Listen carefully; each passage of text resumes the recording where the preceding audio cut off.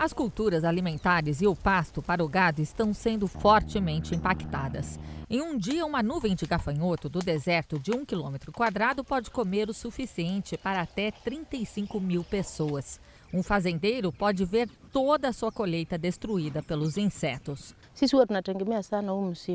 Para a agricultora Esther Gituca, do Quênia, a preocupação é que os gafanhotos destruam todas as plantações e que todos passem fome o resto do ano, enquanto esperam até a próxima temporada de colheita.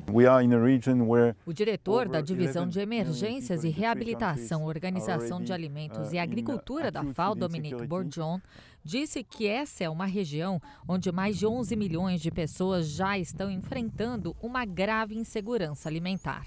Da ONU News em Nova York, Daniela Gross.